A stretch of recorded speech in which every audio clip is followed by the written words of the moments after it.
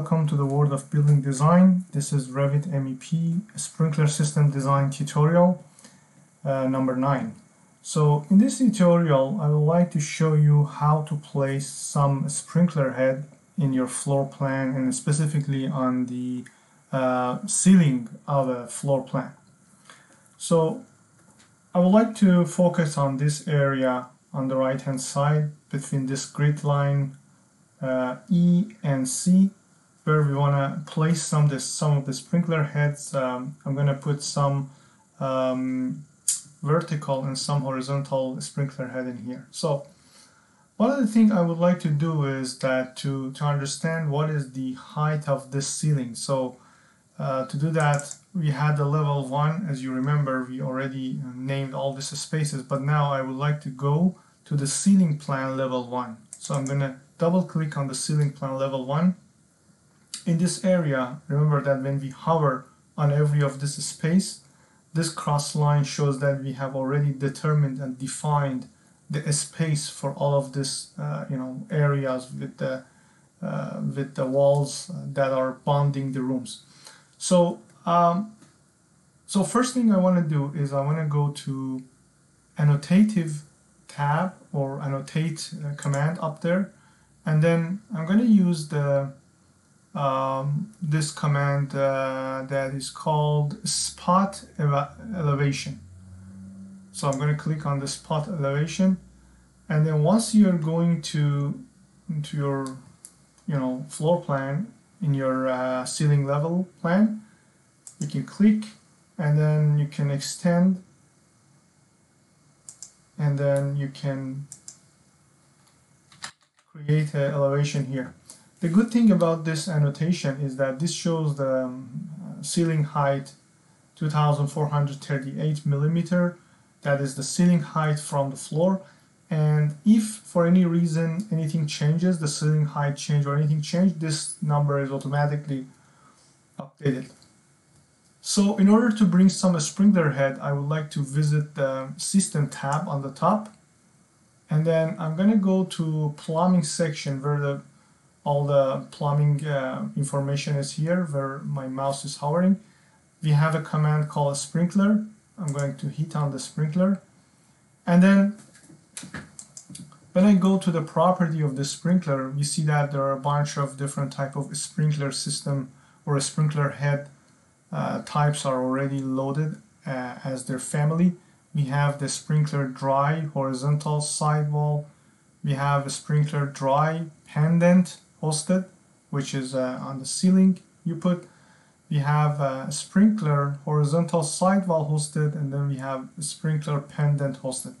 Remember the dry type is different than the this um, sprinkler head regular without any anything in here. It, it means that when you have a dry type it's it's for areas where the temperature is potentially below uh, freezing point so we don't use that for the interior spaces.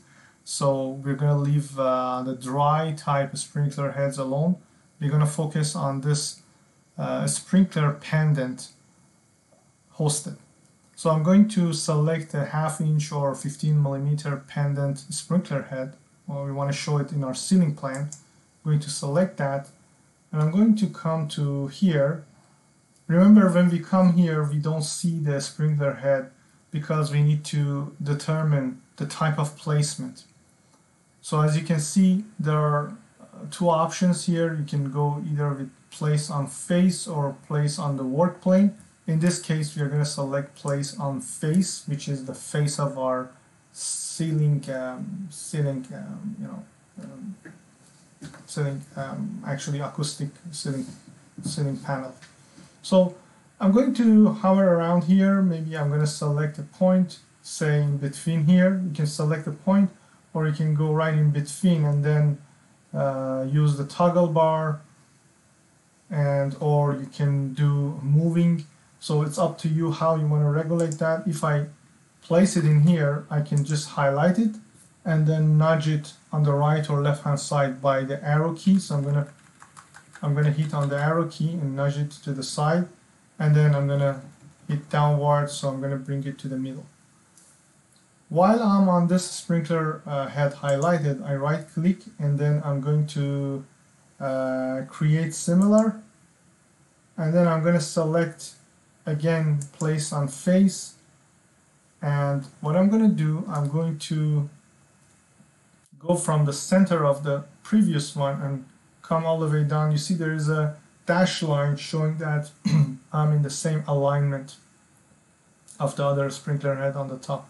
So I'm going to locate it in here escape a couple of times and then let's have a look at one of the sprinkler heads and see how it looks like. So I'm going to cut a section and I go to the section. I got to cut a section here. Sorry I think we have to do it again. Click and then I'm going to decrease the you know the view range. I'm going to double click on the arrow in here and come down to the level 1 so as you can see let's go to fine okay. As you can see our sprinkler head is placed in here below the ceiling ceiling panel so that's good that way. I'm going to go back to ceiling plan double click. I'm going to hold the control button select this sprinkler head and the other sprinkler head. And once the both are highlighted yellow or it's selected I'm going to go with the copy command. I'm going to go copy command and I have the multiple already check marked I keep it as it is and I'm going to select this point as my bench bench point or bench reference. I select that point and then I'm going to this point. You see that there is a rectangle dash line rectangle is moving around. It basically shows where I'm going to place the new sprinkler heads. I'm going to go to this location and then place the two new sprinkler heads. Skip a couple of times.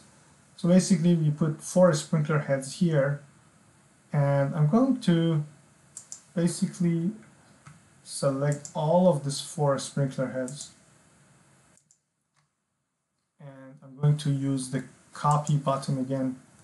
And select this point as a benchmark bring it all the way in here and copy on the left room as well.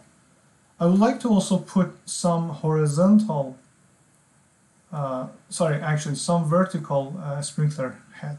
So I'm going to go to the sprinkler head again on the top and coming to property, going back to the horizontal sidewall the sprinkler head, I'm going to select the 15 millimeter horizontal sidewall and you see the symbol is now different but I'm going to select two point here, one point actually